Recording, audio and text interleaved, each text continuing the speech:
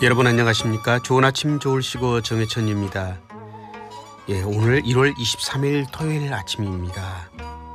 화무 11월 권불 10년 재불 100년 열흘 가는 꽃이 없고 10년 가는 권세 없고 100년 가는 재산 없다는 말인데요.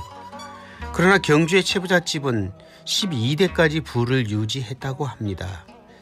그 비결은 가훈에 있는데요. 과거는 보되 진사 이상 벼슬은 하지 말아라. 만석 이상의 재산은 사회에 환원하라. 흉년에는 땅을 늘리지 마라. 과객을 후하게 대접하라.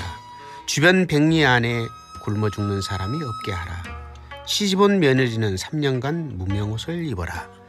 지금 갖고 있는 것들에 만족하고 어려운 이웃에게 베풀었던 그 마음이 부를 유지할 수 있었던 진짜 이유가 아니었을까 이런 생각을 해봅니다.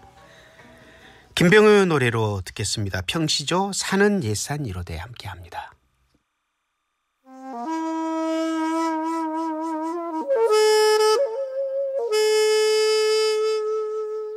사는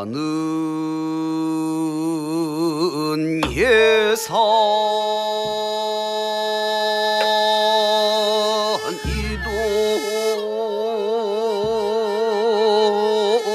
이도도 Oi,